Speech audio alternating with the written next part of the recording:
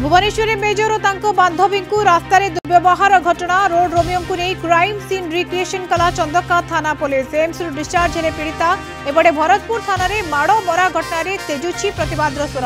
রাজভবন আগে বিজেডি মহিলা মোর্চার বিক্ষোভ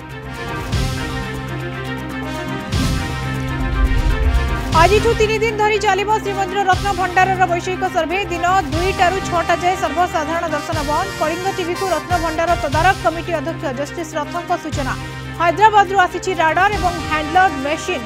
ହେବ ଜିପିଆର୍ଏସ୍ ସର୍ଭେ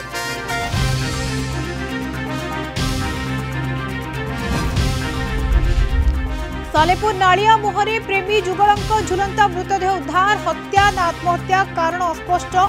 ঘটনা স্থলে পুলিশৰ তদন্ত চলি আছে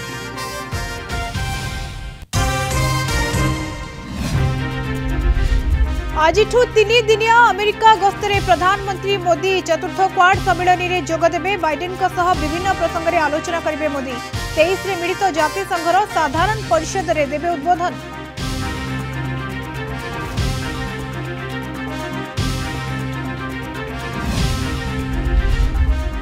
ଶ୍ରୀଲଙ୍କା ରାଷ୍ଟ୍ରପତି ନିର୍ବାଚନ ପାଇଁ ମତଦାନ ଜାରି ତେର ହଜାର ଚାରିଶହରୁ ଅଧିକ ବୁଥ୍ରେ ଏକ କୋଟି ସତୁରି ଲକ୍ଷ ଭୋଟର କରୁଛନ୍ତି ମତାଧିକାର ସାବ୍ୟସ୍ତ ରନିଲ ବିକ୍ରମାନ ସିଂ କଡ଼ା ଟକ୍କର ଦେଉଛନ୍ତି ସାଜିଦ ପ୍ରେମଦାସ ଏବଂ ଅନୁରାଗ କୁମାର ଦିସ୍ନାୟକ କାଲି ଆସିବେ ରିଜଲ୍ଟ